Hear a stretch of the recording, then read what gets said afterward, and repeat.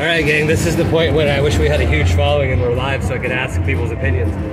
Put $200 into the piggy bank and we're at the Wynn still. And Look at this. we got the three banks. We played it because of that, exactly, that major. I think we got to go here. This is, we're after this. Let's not even mess around with it. Big pigs Okay, two, That's four, six, seven. start. So we need here. Okay. Ready? All right, we got five spins. We're at max bet at pennies.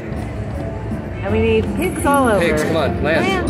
Yep, yep, yep. There you go. Nice. Beautiful. All right, and I picked pigs instead of Eureka because of that. Come on, baby. Come on. pigs.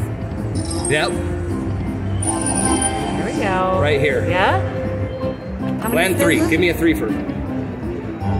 Oh, that let's it? see that. Yeah, that's it. Okay. Look, this could be really good.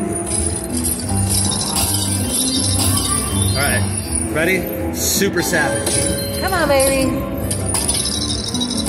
Give us the biggest number that you've got. 500. 500.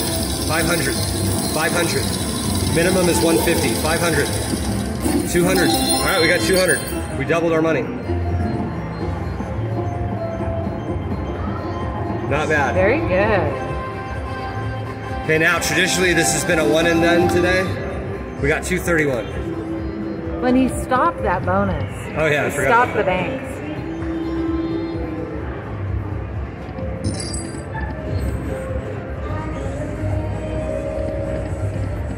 You know what, dude? I'm gonna call this a win since it's been a one and done. Turn our 200 into four, so we doubled our money. Perfect. Freaking That's what we wanna savage. do. That's what we like to do here at the Wynn. Jim and Kim Las Vegas slots. Oh, we no carded it too. Uh, we'll be back when we've hit another bonus gang. Thanks for watching YouTube, Facebook, and Instagram.